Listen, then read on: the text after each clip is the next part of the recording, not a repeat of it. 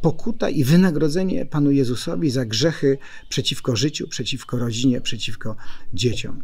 Dlaczego mamy myśleć o męce pańskiej i pokutować? Co w tym jest takiego istotnego? Otóż strasznie trudno nam jest myśleć o męce Jezusa Chrystusa, że atmosfera i to wszystko wokół nie skłania nas do tego, żeby zanurzyć się w rozważaniach męki pańskiej, drogi krzyżowej.